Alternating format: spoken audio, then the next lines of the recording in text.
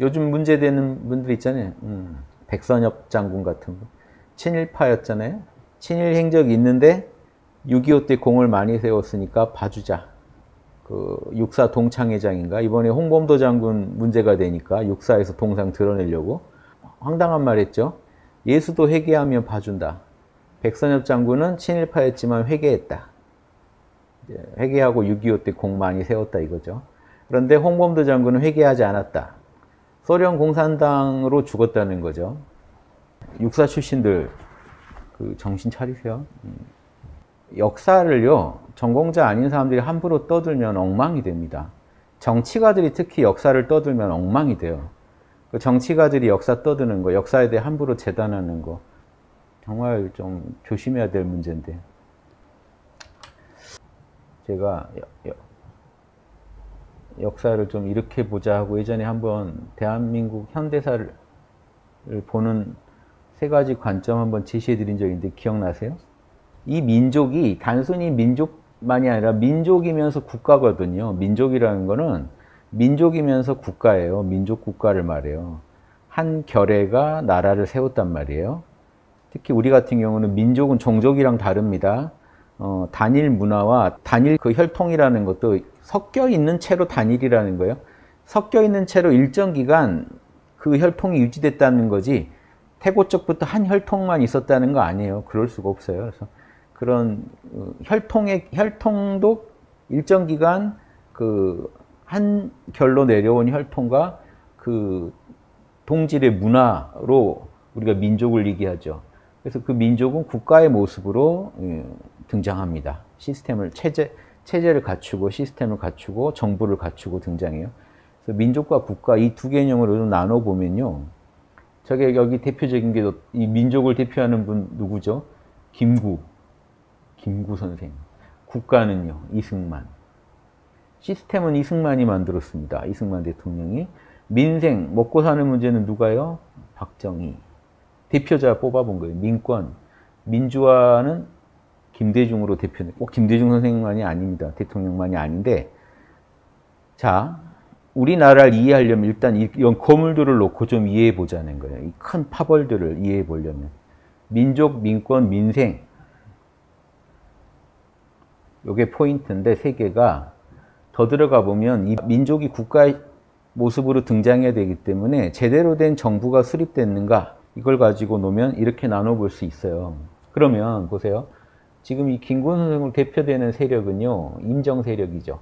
우리나라는 임정 법통을 잇고 있습니다. 대한민국이란 나라를 좀 이해해 보자고요. 왜 이 나라가 이상한지요? 제가 설명을 드릴게요.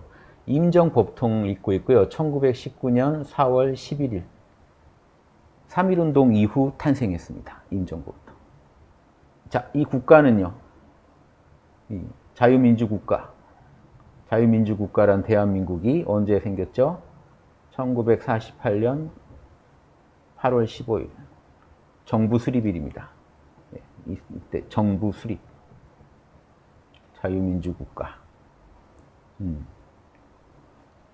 여기는 예, 아무튼 임시정부 법통이고요. 여기는 이제 정부 수립 자유민주를 표방한 정부 수립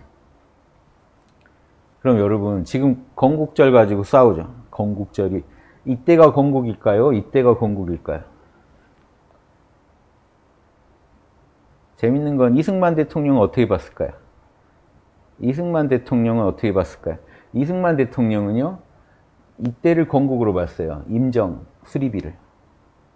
그래서 이승만 대통령 때 이 8.15 때 기념 그 딱그 그 플랜카드가 어떻게 붙었어요?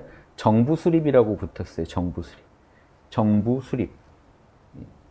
왜냐 임시정부 그 건국은 이때 됐다고 본 거예요. 이승만 대통령마저도.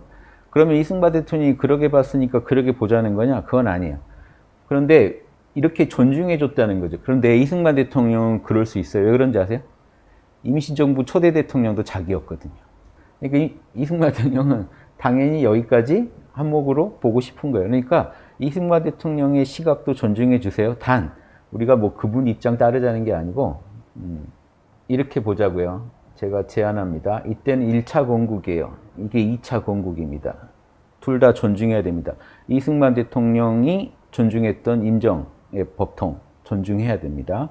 예, 좌우를 떠나서 존중했단 말이에요. 그리고 이 보세요. 김구와 이승만이 공이 지금 인정하는 부분입니다. 임정보통에서 우리나라 대한민국을 시작해서 자 정부 수립이 제대로 된 건국은 자 김구 선생도 이때를 건국으로 봤어요. 이때를 건국으로 또 봤어요. 그 서로 이때가 또 건국이라고 봤고 서로 같이 봤기 때문에 둘 다 존중해 주자는 겁니다. 1차 건국이 있고 우리 대한민국은 2차 건국이 있었습니다.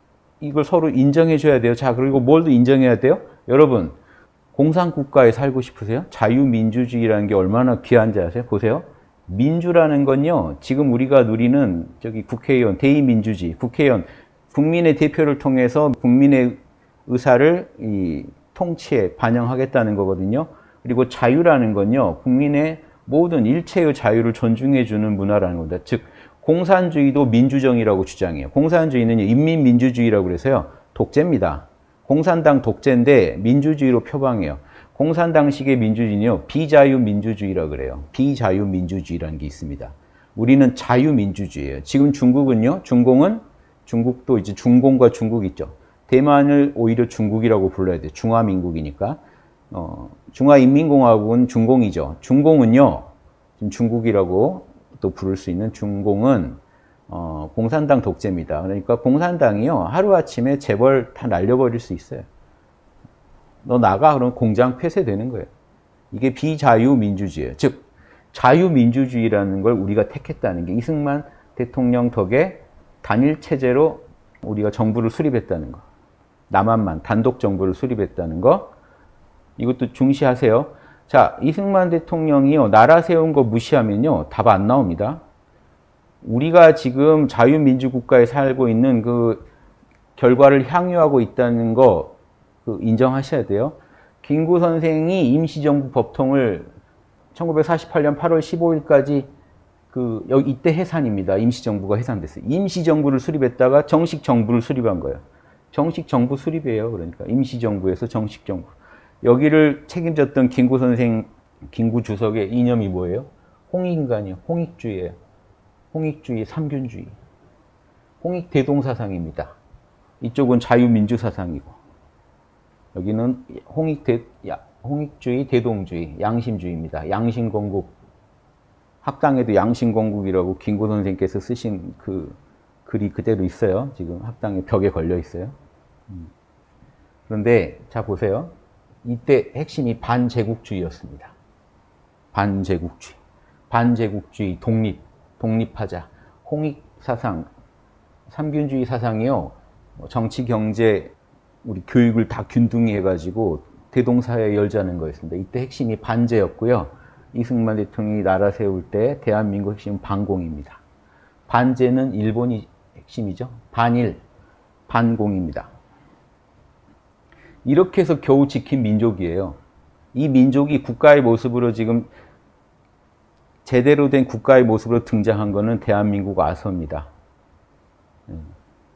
자, 여기까지 아시겠죠? 여기까지. 그래서 이 민족주의 애국애족 세력의 이 민주화, 김대중 대통령을 대표하는 민주화의 공이 세운 그런 세력이 있었고요.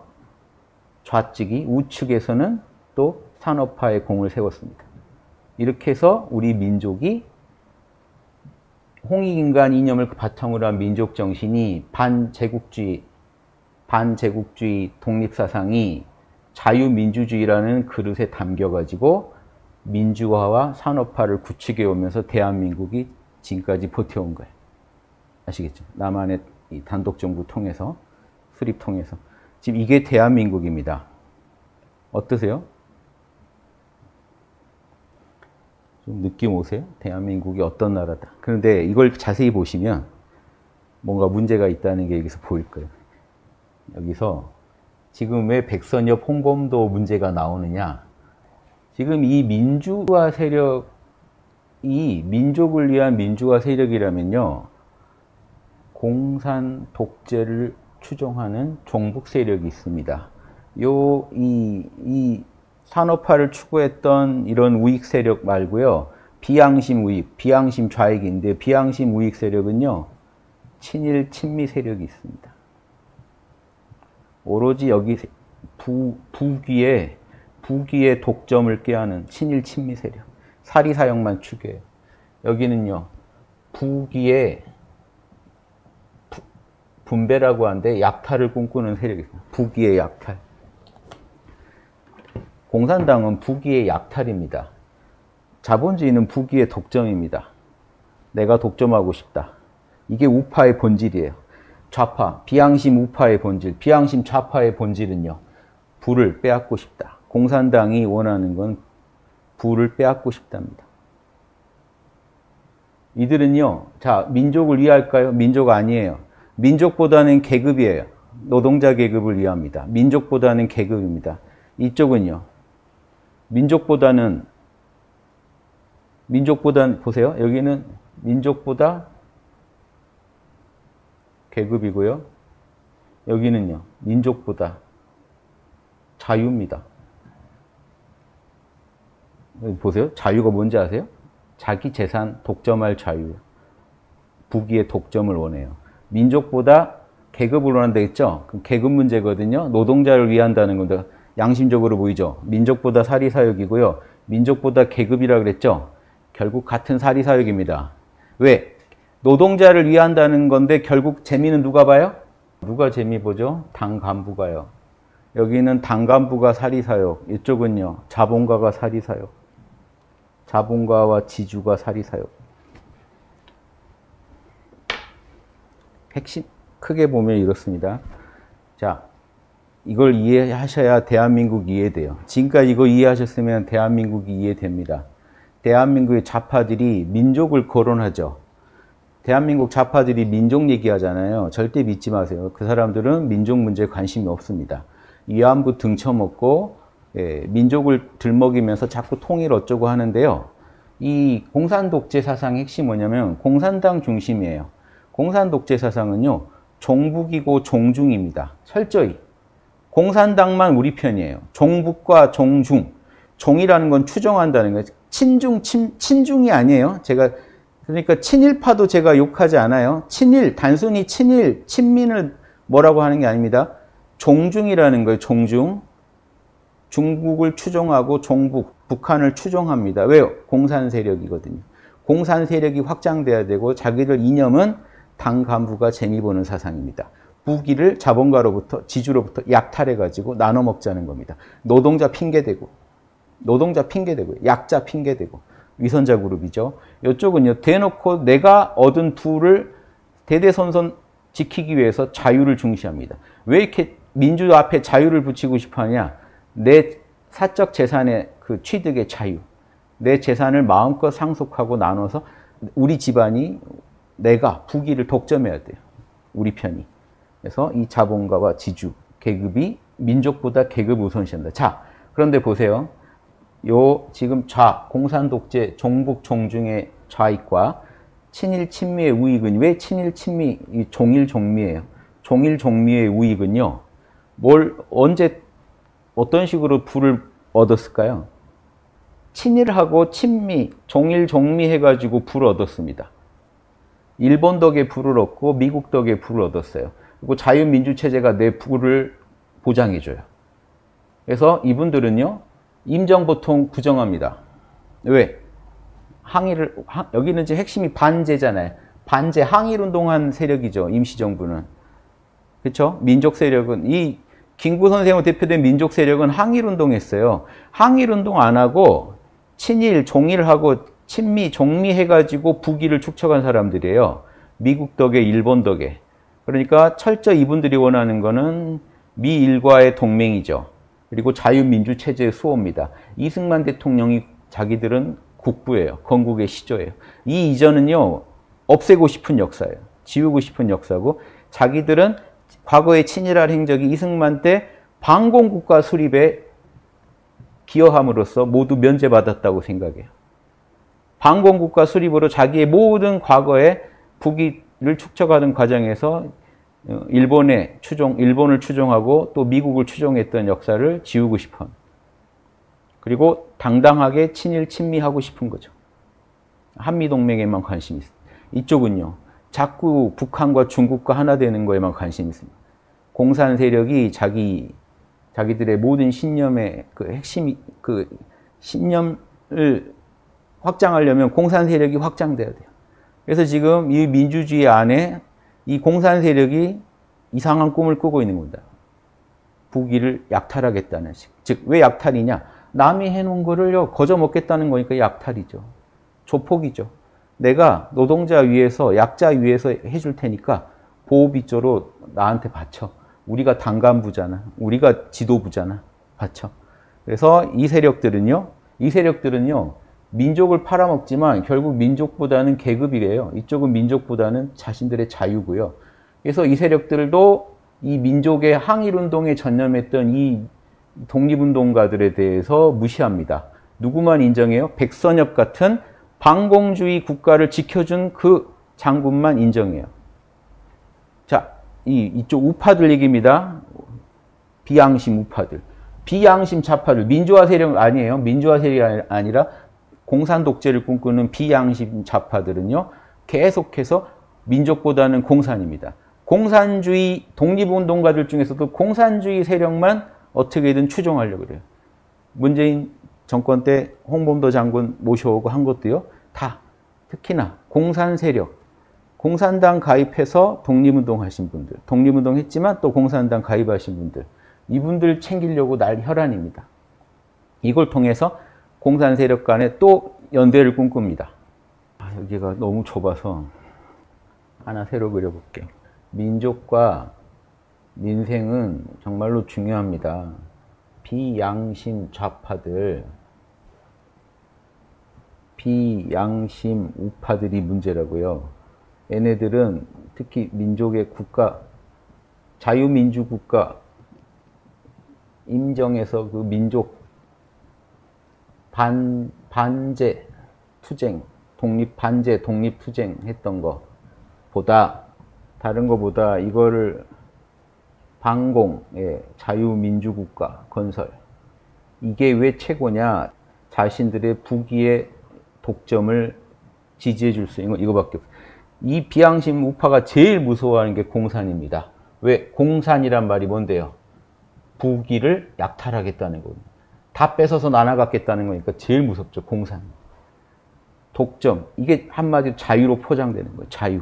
자유를 추구하는 분들이 제일 무서워하는 게 공산입니다. 내 재산 뺏기, 뺏겠다는 거니까. 그래서 이분들은 무조건 매달립니다. 어디에? 미국에. 종미, 예, 종일, 일본과 미국에. 예전에는, 일제 때는 일본에, 지금은 미국에. 항상 강자한테 매달리는 거예요. 항상 강자한테 매달려서 버티겠다. 그래서 이런 민족 개념이 없다 그랬죠. 민족 개념이 없어요. 자기 재산. 그러니까 지금 우파는 원래 다른 나라는 우파가 민족주의인데 우리나라는 민족주의가 아니에요. 우파가 사리 사욕주의지. 친일 친미주의, 종일 종미주의죠. 진짜 민족 민족을 최우선시했던 김구 선생의 세력이 김구 선생이 돌아가시면서 사라졌기 때문에 실제 항일 운동의 주체였던 그래서 여기서 반제 항일 운동의 주체였던 그런데 보세요. 이 반제에서 연합했던 세력이 과거 공산 세력입니다. 반제 공산을 주장했던 이 공산주의 세력. 그래서 보세요. 비양심 좌파는 반제 공산을 반제국주의입니다. 반제국주의 공산을 부르짖었던 과거 공산 항일 운동.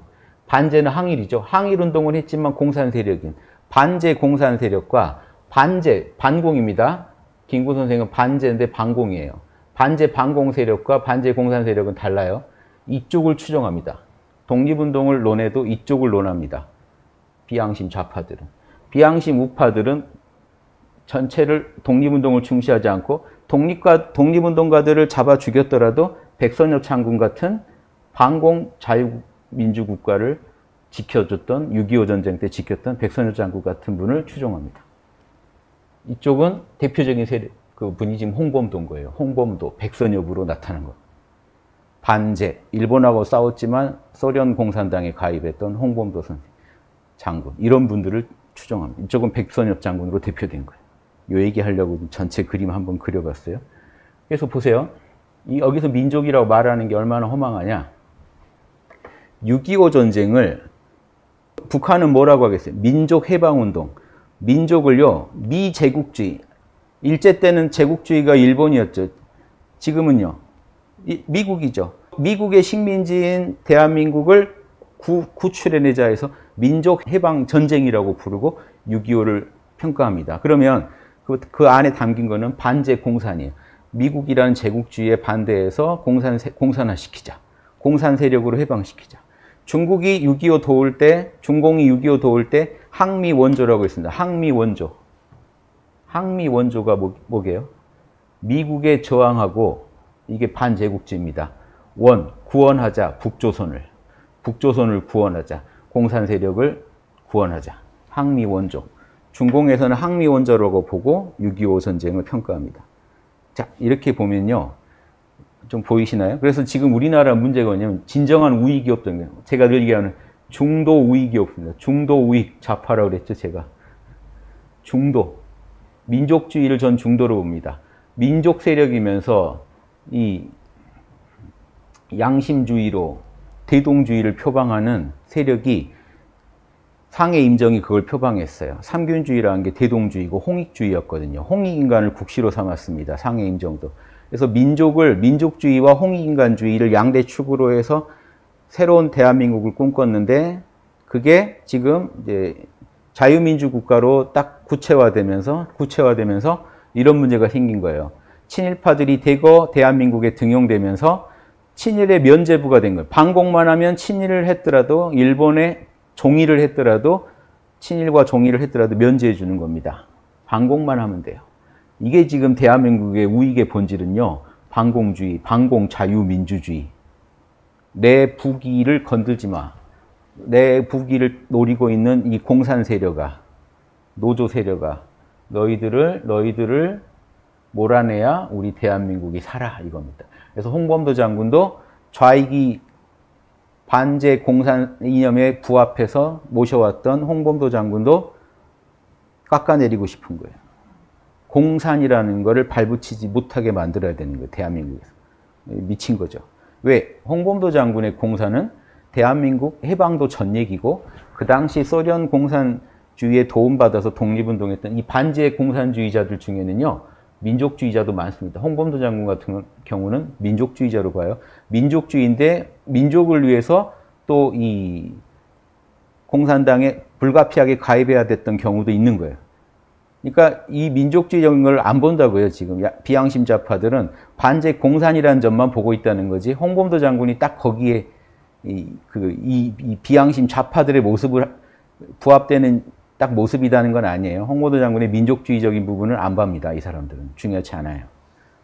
반제 공산이라는 거. 일제에 저항했고 공산, 공산당에 가입했던 사람들을 우선시한다.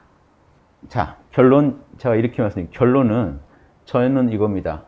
중도 우익 좌파가 살아야 된다. 그러면, 자, 이 자유민주 국가라는 그릇도 존중해야 된다. 우리가.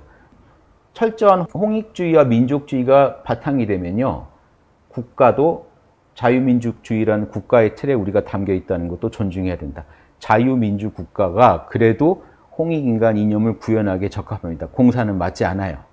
그래서 그리고 민주화, 민족이 국가의 그릇에 담겼을 때 이 국가 안에서 국민들의 주권을 올바로 세워주고 국민들의 살림살이를 챙겨주고 부국 강병해야 되거든요. 나라는 부국 강병해야 돼요. 부유해야 되고 병사력이 강해야 됩니다.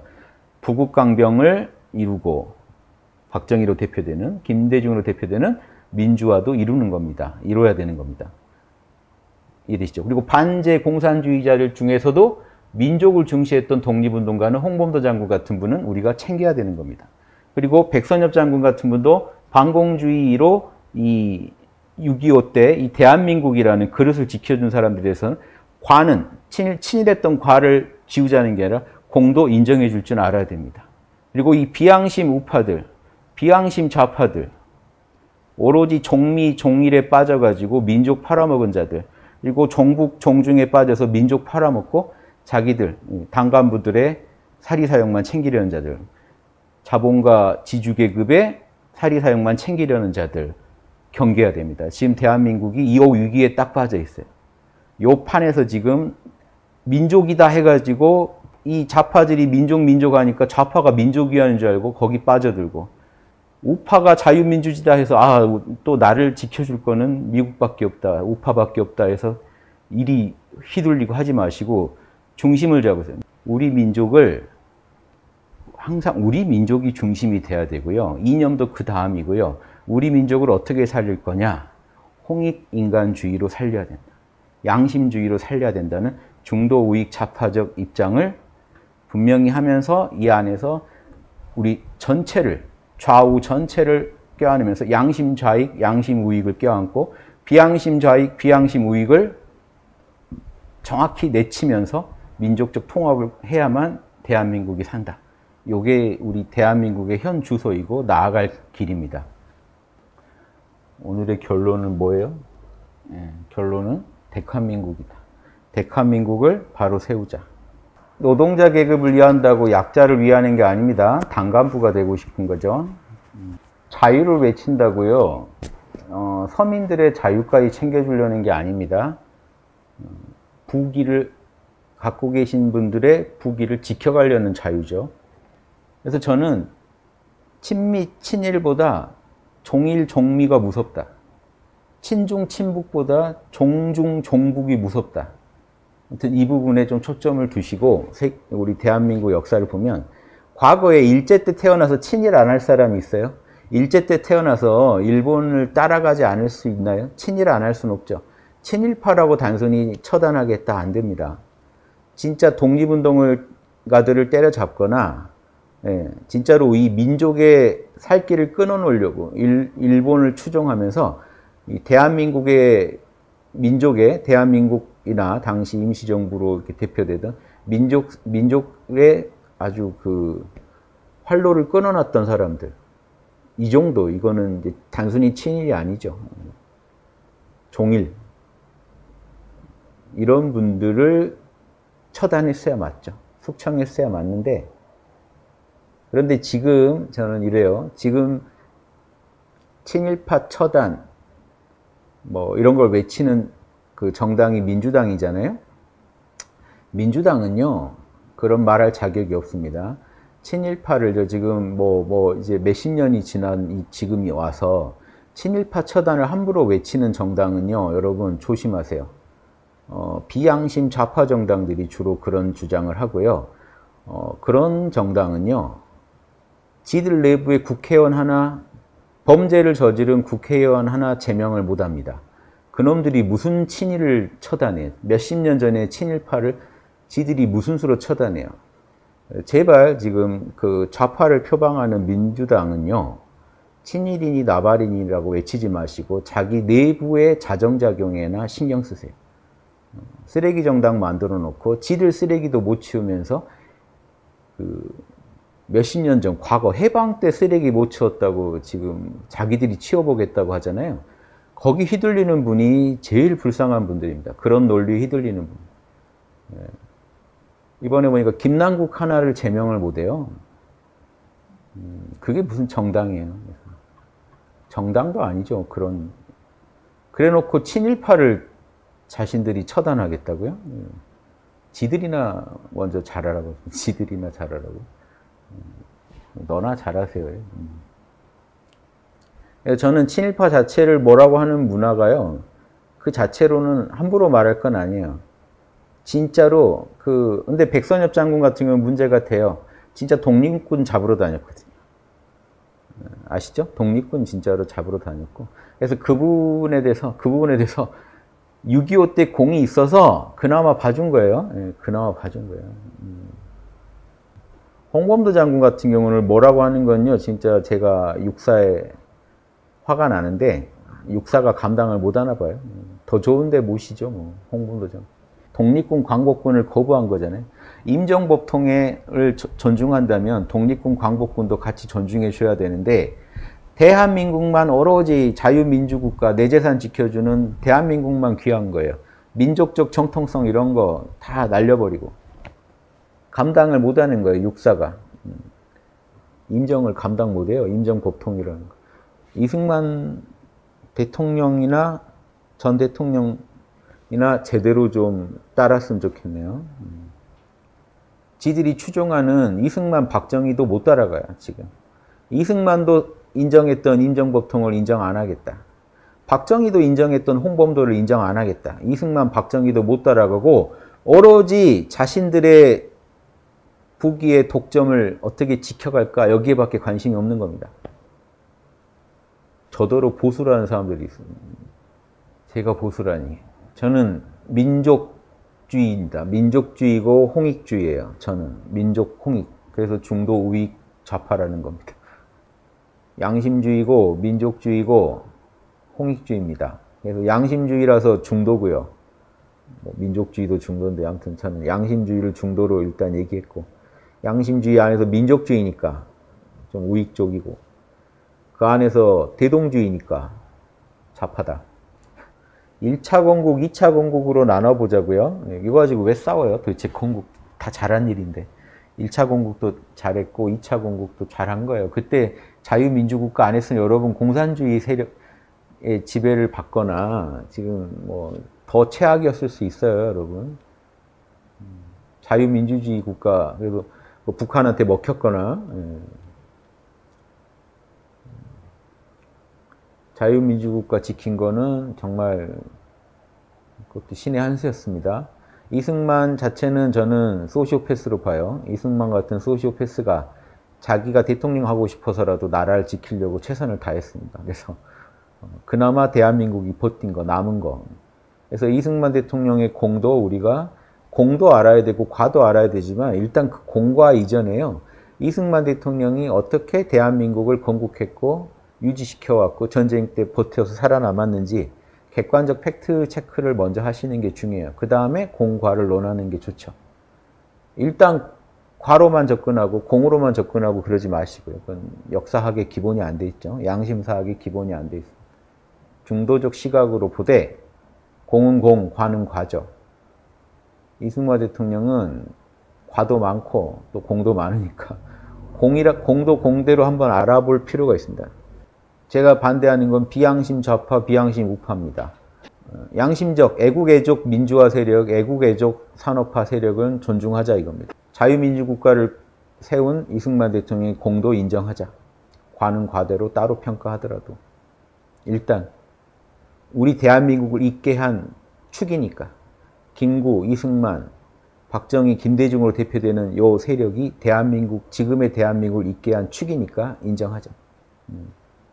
간단하게 한번 봤습니다. 도움 되시길요. 간단하게. 우파라 해도, 해도 아까 민족이라는 큰 틀에서 국가, 자유민주 국가를 어, 건립했던 이승만 대통령을 제일 또 미워했던 사람이 누구예요? 역사에서 이승만을 지워버린 사람은 박정희입니다. 왜냐? 이승만이 개판쳐서 내가 쿠데타 할 수밖에 없었다라고 박정희는 얘기해야 됐죠. 그래서 이승만 세력 아주 증오했습니다. 이승만 살아서는 못 돌아왔어요. 음, 박정희 대통령 때문에 지웠습니다. 그리고 무장 항일 투쟁 역사, 민족주의 세력의 그 무장 항일 투쟁 역사 제일 존중해 준 게 누구예요? 박정희 대통령. 홍범도 장군 처음 훈장 받은 게 박정희 대통령 때예요. 다 인정받았어요. 박정희 대통령은 정말 민족주의자입니다. 민족주의자예요. 공과는 있지만 박정희 대통령은 진짜 민족주의자입니다. 지금 우익하고 다르다는 얘기를 하고 싶습니다. 지금 우익들은 민족주의자가 아니라고요. 사리사욕주의자. 박정희 정권에 붙어서 이승만 정권에 붙어서 일본에 붙어서 미국에 붙어서 사리사욕만 추구했던 사람입니다. 그 세력들이요. 자기 재산, 자기 명예, 지위 지키려고 지금 자유민주, 자유민주 하는 겁니다. 이것도 아셔야 돼요. 보수니 진보니 뭔 이름이 중요하겠습니까마는 이 세력과 비양심 좌파 세력, 대한민국을요 찢어놓을 찢어놓을 세력들이라서 알고 계시라는 거예요. 이게 선을 넘어가면 대한민국을 찢어놓을 겁니다. 선을 넘어가면 적당한 선 안에서 놀면 괜찮은데 선을 넘어가지 않게 국민이 깨어 있어야 되거든요. 근데 지금 우익들 가만히 보세요. 박정희보다요 이승만을 지금 세우려는 겁니다. 왜? 대한민국이라는 방공국가 세워준 게 제일 귀한 거고 방공을 국시로 좀 몰고 나가서 어, 공산 세력 싹 몰아냈으면 하는 거예요. 지금 우익, 우익 세력들의 보수들의 지금 꿈이 자기 재산, 자기 지위 때문에 그래요. 박정희도 안 하다. 산업화도 다음 문제예요. 대한민국이 없었으면 자유민주 국가로 이렇게 세워지지 않았다면 다 끝장이었다. 우리는 그걸 되찾아야 된다. 이승만 세우기로 지금 몰두해 갈 겁니다. 이승만 세우기. 이승만, 백선엽 이렇게 몰고 갈 겁니다. 그러면 저기 또 좌파는 계속 뭐라고 또 몰고 가겠어요? 친일했다고. 친일했다고 또 몰고 갈 거예요. 친일했다. 그러면서 또 중국과 북한과 우리는 친해야 한다. 친일, 친미 안 된다. 제국주의 세력과 싸워야 된다. 무슨 북한 논리, 중국 논리에 또 빠져가지고 중국에 붙어야 된다. 자꾸 지금 지금 중공이죠. 중공 둘 다 중국이라 대만이 중화민국의 그 계보를 있는 건 대만이죠. 중화민국. 이것도 재밌는 게 뭐냐면요. 임정 세력은 어땠어요? 지금 대한민국 건립한 이승만 같은 세력은 친미, 미국하고 친했죠. 종미라고는 안 할게요. 친미, 미국하고 친했죠. 임정 세력은 어디랑 친했어요? 중화민국, 중공이 아니고요. 대만, 중화민국하고 친했습니다. 재밌죠? 자, 임정, 임정법통은 중화민국하고 친했습니다. 이승만 세력은 미국하고 친했습니다. 비양심 좌파는요, 중공이랑 친한 정도가 아니죠. 종중이죠. 종중, 종북. 지금 비양심 우파들은 종미, 종일. 일본 추종, 미국 추종. 이승만만 못하다니까요. 이승만은요, 미국을 이용해서 자기, 자기 재미 보려고 그랬어요. 미국마저도 이용해서. 그래서 미국이 지랄되면 이승만은 과감하게 개겨버립니다. 자기가 대통령 하는 게 제일 중요했기 때문에 과감하게 미국에 큰 소리들 치고 저항하고 합니다. 통이 큰 양반이에요. 그래서 결국 임정이 중화민, 중화민국한테 잘해놨기 때문에 장개석이 카이로 회담 때 대한민국 독립할 수 있는 그 선언문에 한 줄 넣은 거예요. 대한민국은 꼭 독립시키자로. 그게 상위 인정이 할 수 있는 최선의 결과물이었어요. 막 이승만 덕이다 나중에 막 미화시켜서 나온 거 많았는데요. 아니에요. 임정덕입니다. 중화민국 그 장개석 총통의 덕이었어요. 이승만 세력이 자꾸 이승만이 미국에서 잘해서 그렇다 고 자꾸 역사 왜곡하려고 하는데 그 팩트가 부족해요. 증거가 부족해요. 음. 그 해방 전후사 정말 초간단으로 본 건데 대신에 초간단이지만요. 뼈대는 봤어요. 뼈대를 좀 체크했습니다. 좀 도움 되세요? 이걸 좀 이해하고 보시면요. 지금 막 백선엽, 홍범도 이게 간단하게 일어난 사건이 아니란 거 아실 거예요. 왜 좌파 정부가 들어서면 계속 저런 짓을 할까? 왜 우파 정부는 계속 이런 짓을 또 하고 있을까? 그럼 우리는 어, 국민은 어떻게 판단해야 될까? 해방 전후사 뼈대 체크. 요 정도 관점도 못 갖고 보시면요. 완전 휘둘립니다. 지금 뭔 소리인지 몰라요. 왜 이걸 가지고 얘기하는지 몰라요. 그래서 제가 어차피 자유민주국가끼리 연대할 거면 그 미국은 뭐 미국 연대하지 말자는 게 아니라 지금 우리 있는 곳에서는 특히 한대일 동맹이 중요하다. 대만 한중일이죠. 거기도 중화민국이니까 대만 한대일 동맹이 중요하다. 이런 얘기 한 것도요. 지금 공산 세력은요, 그 지금 비자유민주주의예요. 비자유민주주의로 우리가 갈 수는 없단 말이에요. 어차피 자유민주주의 안에서 홍익복지국가를 꿈꿔야 맞죠. 자유민주주의 안에서 홍익복지국가를 꿈꿔야지 비자유민주주의로 우린 갈 수가 없어요. 어차피. 그러니까 한대일 동맹이 중요하다는 겁니다. 미국과 또 연대하면서 이렇게 가야 된다. 대한민국 이게 우리가 만들어야 할 대한민국입니다. 반전은 시작됐습니다. 민족, 홍익, 이 중도 세력이, 중도 세력이 좌우를 아우르면서 비양, 양심 좌파, 양심 우파를 아우르면서 비양심 좌파, 비양심 우파와 싸워, 싸워서 올바른 대한민국을 건설해야 된다. 어쩌면 이게 제3의 건국이 될 것이다. 저는 이렇게 말씀드리고 싶습니다. 선생님 분석 들어보니 현재 전 지구의 모순이 한국에 집약돼 있는 것 같아요. 그렇죠? 소지구죠. 대한민국이 올바른 대한민국으로 거듭난다면 전 지구의 문제도 풀 수 있겠죠. 양심사관으로 바라본 해방 전후사입니다. 오늘. 그래서 좌에도 우에도 휘둘리지 마세요. 우파가 자유민주 반공 외친다고 거기 휘둘리지 마시고요. 좌파가 자꾸 종북 종중 외친다고 북한하고 우리 중국이랑 친해야 된다고 하고 자꾸 이렇게 외치면서 계급 문제가 해결돼야 된다. 여기에만 골몰해 있는 게 너무 따라가지 마세요. 예. 왜 그런지 아세요? 그 김구 선생 같은 분은 철저한 반공주의자였습니다. 예. 왜? 공산주의자를 안 믿었어요. 왜 그런지 아세요? 김구 선생은 민족주의자예요. 민족이 있어야 계급도 있다예요. 공산주의자는 계급주의자입니다. 민족이 있어야 계급도 있다인데 김구 선생 같은 민족주의 세력은 그 당시 공산주의자들은요 민족보다 계급입니다. 당시 공산주의자. 그래서 요 사이에 많은 독립운동가들이 있었어요. 요 사이에 어디쯤에. 뭐냐면 민족 51%냐 이렇게 이쪽 계급 문제가 51%냐 따라서 이제 난 이쪽이냐 난 이쪽이냐.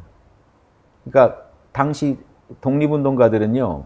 그러니까 공산당에 가입했다고 해서 다 민족주의에 반대하는 건 아니에요. 공산주의 본질이 이랬죠. 그래서 공산주의에 많이 경도된 독립운동가는 민족보다는 계급 문제를 중시했어요. 공산주의를 했더라도 민족주의 쪽에 더 가까웠던 이쯤에 있던 독립운동가들은 민족이, 민족을 더 높게 봤습니다. 민족을 계급보다. 뭐냐면 계급 문제라는 건요. 유산자, 자본가 계급과 무산자, 노, 노동자 계급의 대립으로 보거든요. 그러면 뭔 문제가 생기냐면요. 민족이냐 계급이냐가 독립운동가들 중에 항일 독립운동가들 중에 차이가 나는 게요. 그러면 일본 무산자가 우리 편이냐 한국 자본가가 우리 편이냐 그럼 민족주의자들은요. 아무래도 민족 같은 민족을 먼저 쳐주죠. 자본가도 일단 우리 민족이다라고 본다면 공산주의가 심해지면요. 일본 무산자가 우리 편이에요. 한국 자본가나 지주는요. 우리가 배척해야 될 존재예요. 그래서 항일운동이 다른 의미가 돼요. 일본에 저항하는 건요. 그 일본 일본의 그 유산자 계급에 저항하는 게 돼요. 이해되세요? 일본 지주 세력과 싸우는 거예요. 일본의 자본가랑 싸우겠다는 거예요. 공산주의자들은. 그래서 공산주의가 심해지면요. 민족보단 계급 문제에 빠지기 때문에 전 세계 프롤레타리아들, 전 세계의 무산자 계급과 동지라고 생각합니다. 동지감을 여기다 가져요. 한국의 자본가들은 잡아 죽일 놈들이 돼요. 그래서 공산주의자 김구 선생은 철저한 반공입니다. 이승만 때 어떻게든 김구를 공산주의로 엮어보려는 시도는 있었지만 다 실패했죠. 김구 선생이 반공주의자인 건 다 아니까 독립운동가들. 왜 안 믿었느냐? 공산주의 독립운동가들과 항일 같이 항일에서는 둘 다 목표가 뭐라고 그랬죠? 반제국주의. 항일에서는 하나예요. 항일에서는 하나인데 독립 이후의 그림에 대해서는 달라진단 말이야. 항일에서 독립을 한다. 이때 이 독립에 대해서는 서로 성격이 달라지는 거예요. 자본가 국, 자본주의 국가를 만들면 안 되는 거예요. 자유민주주의 국가를 만들면 안 되는 거예요. 공산주의 국가를 만들어야지. 계급 타파를 하는. 미래의 비전이 달라지죠. 일본과 싸우는 건 같지만. 그래서 김구 선생도 일본과 싸울 때는 연대하지만 철저히 의심하고 항상 김원봉 같은 분도 항상 이 공산주의 세력에 경도된 분들에 대해서는 항상 경계했습니다. 왜? 이 양반들 머릿속에서는 계급밖에 없다고 봤어요. 민족이 없다고 봤어요. 자기들 이념에 먹혀버렸다고 봤어요. 민족보다는 이념에 빠져버렸다. 이해되시죠? 이런 부분. 공산주의 독립운동가의 문제죠. 그러면 홍범도 장군은 지금 어느 정도였을까요? 민족이 중심이었을까요? 공산 이 계급 무산자 계급의 국가를 만들기 위해서 항일했을까요? 홍범도 장군이? 홍범도 장군 같은 경우는 민족주의 항, 공산주의 입당했더라도 민족주의 항일 운동가로 본 겁니다. 그래서 육사에도 모신 거예요. 독립군으로. 어, 그걸 이해 못하고 파내야겠다는 거. 공산당 가입했으니까 무조건 파내야겠다는 발상이 정말 역사에 잘 무지한 발상인데 그 참 안타깝죠. 어차피 그럴 거 육사가 나는 그릇이 안 된다고 봅니다. 육사가 독립군 광복군을 모실 그릇이 안 된다. 진짜 파낸다면. 독립운동가 안에서도 공산주의 독립운동가를 보는 시각이 이미 확고했다. 김구 선생 때도 확고했다. 반제국주의라는 점에서는 하나였다. 그래서 이 모두를 자 보세요. 이 모두를 반대한다. 반공, 어, 비양심, 우파는 다 싫다. 똑같은 놈들이다. 민족주의나 공산주의나 다 똑같은 놈들이다. 오로지 반공이다. 이해되시죠? 오로지 반공이다. 그래서 독립운동가는 됐다. 왜? 이때 친일했거든요. 반제 안 했단 말이에요. 친일을 했지. 종일을 하고, 심한 경우. 친일 종일했던 사람들이거든요. 그, 그 사람들이 이제 또 미국에 붙어서 이제, 이제 종미, 친미, 종미 하면서 살아가고 있는 사람들인데, 달갑겠어요. 민족이건 공산이건. 반제국주의 항일 운동 했잖아요. 열심히. 박정희 대통령은 이걸 인정했단 말이에요. 박정희 대통령은. 양심 우파란 말이에요. 민족주의 우파고, 얘네들은 민족 없단 말이에요. 민족이. 민족이 없습니다. 오로지 반공이에요. 그래서 제일 올라가는 장군이 백선혁 장군이에요. 그래서 그 말이 맞죠. 이런 식이면 회사에서도 이순신 장군 드러내라. 조선 때 장군을 왜 대한민국이라는 자유민주국가 반공국가를 세우는데 이바지한 양반이 아니라면 이순신 장군도 드러내자 이거죠. 이순신 장군도 누가 제일 높였어요? 박정희 대통령. 이승만보다도 못하다. 이승만은 그래도 민족주의 독립운동가였고 반일은 확고했죠. 물론 자기가 정권을 잡으려다 보니까 사리사욕적인 측면에서 친일, 친일파들을 등용했지만 그래도 확고했어요. 일본 미워하는 건 확고했어요. 민족을 위했다는 거 인정 안 해주면요. 그 당시에 민족을 위해서 공산주의에 가입해야 되는 경우가 있어요. 여러분 왜 그런지 아세요? 이때 민족주의 항일 세력은요. 1920년대 넘으면서 다 괴멸돼요. 그 뒤는요. 저기 소련이 무기 대주지 않으면요. 싸우지도 못했어요. 소련의 도움 안 받으면. 소련이나 중국 공산당의 도움을 받아서 일본하고 싸우려고 민족주의자인데 공산당 가입한 사람도 많았습니다. 이분들은 여러분 이해해, 그, 이해해 주셔야 돼요. 그쵸? 얘기 나온 김에 좀 오늘 일단 얘기 나온 김에 원만하게 안 해놓으면 잘못되니까 최선을 다해봤습니다.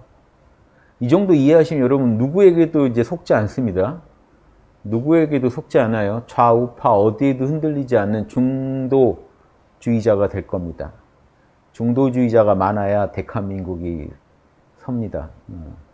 이해는 잘 되는데 더 열받네요. 이게 맞죠? 열받죠? 지금까지 열받아야 할 것에 열받지 못하고 있었던 거예요. 정당한 분노가 올라오셔야 맞아요. 진실을 알고 나면 정당한 분노가 올라와야 맞습니다. 양심의 분노. 우리 민족이 홍익 인간 나라 세우는 거, 홍익 대동세계 여는 거, 이게 올바른 중도의 길입니다. 저는 비전제시까지 합니다. 문제점만 짚지 않아요. 우리가 어디로 가야 되는지 말씀 꼭 드리죠. 비전제시. 대한민국을 열자. 중도. 좌우가 하도 지랄되니까 중도라고 하는 거지. 뭐 중도도 의미가 없어요. 그냥 양심주의, 홍익주의, 민족주의. 요거 제가 표방하는 건 세 개입니다. 양심, 홍익, 민족. 어쨌든 우리 민족 살 길을 열어야 된다. 다른 민족이 우리 민족 잡아먹지 못하게. 다른 민족이 우리 민족 잡아먹으면 제국주의가 돼요. 또 우리가 다른 민족한테 추종하고 있으면 사대주의가 돼요. 사대주의도 안 되고 제국주의도 안 됩니다. 우리도 다른 민족 잡아먹지 말고 또 다른 민족한테 혼을 뺏기지도 말고 사대주의도 안 되고 제국주의도 안 됩니다. 그래서 이 민족 자주 정신으로 우리 민족의 길은 우리가 개척한다. 너 어떻게 개척할 거냐? 양심주의, 홍익주의죠. 자명한 길만 걷겠다. 모두에게 이로운 길을 걷겠다. 이러면 다른 나라가 반대할 게 없죠. 이 토대 위에서 이 민족주의, 양심주의, 홍익주의 토대 위에서 자유민주주의가 꽃을 피울 수 있는 겁니다. 자유민주주의 좋아요. 근데 그 자유가 양심의 자유로 온전하게 꽃피지 못하면 안 돼요. 그리고 자유가 평등이 없는 자유는 안 됩니다. 모두에게 평등한 자유여야 되고요. 예. 그리고 이 모든 것은 홍익 이념 안에서 의미를 갖습니다. 자유와 평등이 홍익으로 꽃을 피워야 돼요. 널리 인간을 이롭게 하는 서로가 서로를 이롭게 해주는 그 사회로 가야 됩니다. 자유민주주의를 승화시킬 활용점정의 한 수가 홍익 양심 민족입니다. 다른 나라한테 집어먹히고 좋을 민족 없고요. 음, 다른 나, 다른 민족 시다발이 하면서 좋을 민족 없어요. 음, 국가를 존중하고 민족을 존중해 주는 게 예, 이게 홍익주의의 시작입니다. 양심주의, 홍익주의의 시작입니다. 자유와 평등, 박애라는 게 홍익, 양심, 홍익인간이잖아요. 박애가 내가 당해서 싫은 거 남한테 안 하고 내가 받고 싶은 거 남한테 해주자가 프랑스 정신에서도 박애잖아요. 자유, 평등, 박애. 우리는 남을 해치지 않는 한에서 마음껏 할 수 있는 자유가 있고요. 평등은요. 모두가 법 앞에서, 제도 앞에서 평등합니다. 그리고 내가 당해서 싫은 건 남한테 하면 안 되고, 박애, 박애 즉 홍익이라는 것은 어, 내가 받고 싶은 거 남한테 해줘야 돼요. 자유, 평등, 홍익으로 꽃피우는 사회. 저게 이제 자, 올바른 의미의 자유민주주의입니다. 자유, 평등, 박애가 갖춰져야 자유민주주의예요. 그런 자유 평등을 얘기하자고요. 홍익인간 이화 세계를 한번 열어보자는 겁니다. 홍익인간 이화 세계를 열어보자. 그러면 그게 자유민주주의랑 배치된다는 게 아니에요. 자유민주주의가 꽃핀다는 거죠. 자, 보세요. 자유라는 게 뭐예요? 내가 당해서 싫은 거 남한테 하지 말자는 거예요. 민주는요, 백성이 주인인 나라 만들자는 겁니다. 국민이 주인인 나라, 국민, 주, 국민이 주인 대접받는 나라. 그럼 이게 홍익국가죠. 홍익인간 국가 아니고 어떻게 국민이 주인 노릇 을 하고 주인 대접을 받습니까? 주인 노릇도 할 수 있고 주인 대접도 받을 수 있어야죠. 자유민주국가는요, 양심주의, 홍익주의 아니면 절대로 꽃피울 수 없는 겁니다. 근데 지금 자유민주주의는요, 사리사욕의 도구가 되기 너무 쉬워요. 위정자들의, 몰입애들의 사리사욕의 도구가 되고 있습니다. 지금 자유민주주의가. 자유민주주의를 구원하라. 자유민주주의를 비양심 우파의 손에서 어, 해방시켜라. 구원받게 하라. 뭐 이런 느낌도 있는 거예요. 음. 양심이 없는 자유민주주의는 뭐만, 뭐가 되는지 아세요? 자유죠? 음, 부기의 독점, 내가 가진 재산, 사유재산의 자유. 민주는요, 국회의원이 다 해먹겠다는 거예요. 국민을 대표하는 국회의원, 저 민주주의라는 건 대의민주주의거든요. 그러니까 자유민주면요, 가진 자들이 정치를 좌지우지하면서 국민 핑계대고 다 해먹겠다는 겁니다. 비자유민주주의, 공산주의는요, 당간부들이 노동자 계급 핑계대고 다 해먹겠다는 거고요. 자유민주주의는요, 국회의원, 정치인들, 그리고 자본가들이요, 자유민주주의, 그, 이 자유민주주의 사회를요, 다 해먹겠다는 거예요. 국민이 주인이라는 핑계대고. 비자유 민, 비자유민주주의 국가, 공산, 공산민주주의 국가들은 노동자 핑계대고 당간부들이 다 해먹겠다는 얘기입니다. 양심 없는 자유민주주의, 양심 없는 비자유민주주의 합쳐서 양심 없는 민주주의는 답이 없다. 양심과 홍익이 없는 민주주의는 답이 없다. 자유평등 박애가 자유평등 홍익이 균형을 이루지 못하는 민주주의는 답이 없다. 이 소리입니다. 이게 우리 민족을 올바로 살릴 수 있다. 이게 제 대칸 철학, 대칸 철학입니다. 이래야 홍익인간 이화 세계가 이 땅에 열려서 전 세계 모든 민족과 국가를 올바로 인도할 수 있는 비전을 제시해 줄 수 있다. 오늘 그냥 막 날렸으니까 걸러서 들으세요.